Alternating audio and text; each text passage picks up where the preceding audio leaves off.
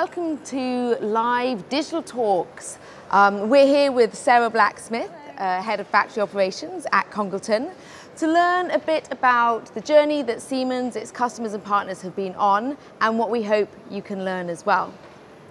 Now, we know that ripping and replacing doesn't really work. You know, this out with the old, in with the new, and actually technology really can help to continually improve and upgrade. And it's a journey that you've been on as well. Um, so we're the oldest Siemens UK site um, that's always been a UK, uh, Siemens site. Um, so 1971 we were established. That's amazing. Yeah, as a, originally as like a, a, warehouse and a switch shop manufacturer. So and then we created, uh, developed and manufactured the first drive there in the early 90s.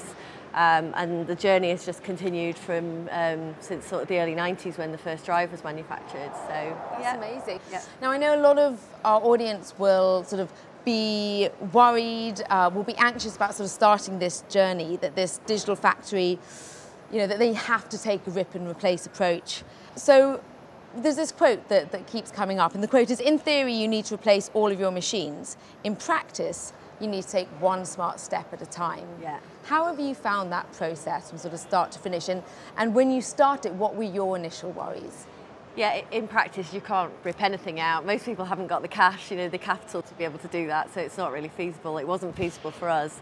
Um, you know, we're in a, in a site that's an old building, um, we're limited on space, you know, and we're limited in the capital spend that we've got, so whatever we changes we make, it's got to be really well thought through and it's got to deliver value for our factory. So um, the way that we started was that we took a, core team of people, only four people, wow. out of the day-to-day -day business as usual um, because they weren't able to focus.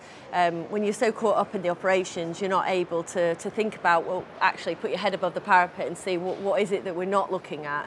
Um, so those four people really focused on looking at um, what technologies were we not using from an advanced manufacturing point of view. So at the time, probably five years ago now, we weren't looking at any automation, we weren't looking at robotics, um, and we were also not even looking at any of the digital enterprise side of things. So Siemens, where I work, has obviously got a massive um, portfolio of, um, of PLM, product lifecycle management tools that can help you become more productive. And we weren't looking at any of those at the time. So two of the people started to look at what are those different tools, how could they add value to our factory, um, and it sort of evolved from there. And what has been the, the biggest return you've seen so far? You know, sort of improvement, where, where are the areas where you think, wow, this is really changing in a, in a positive way? Um, well, some of the, the, the, automation that we've been able to deploy has been fantastic.